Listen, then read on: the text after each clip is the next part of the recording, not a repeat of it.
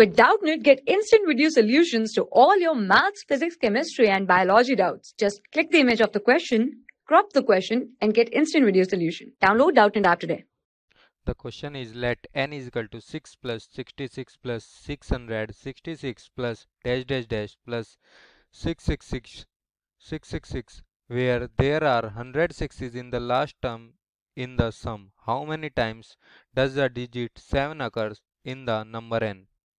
In this question n is equal to 6 plus 66 plus 666 plus dash dash dash plus 666 6 100 times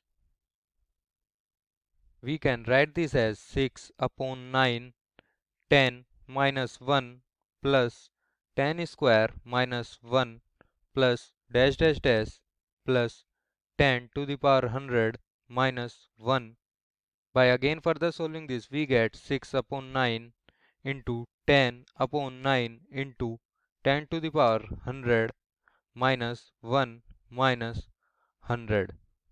By dividing 6 and 9 by 3 and further solving this we get 2 upon 3 into 999 dash 90 upon 9 minus 100. 9 is repeated 100 times.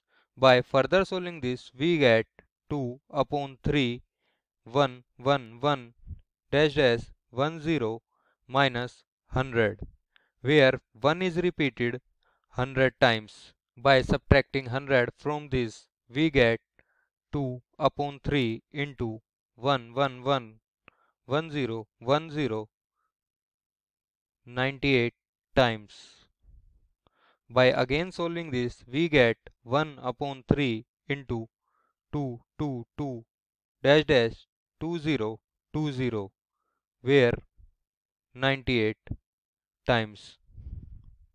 By solving this we get 7 4 0 7 4 0 dash dash dash 7 4 0 7 3 4 0 the digit are 96 digits.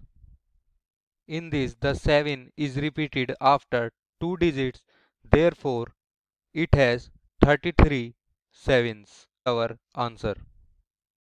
For class 6 to 12, IIT JEE and NEET level. Trusted by more than 5 crore students. Download Doubtnut app today.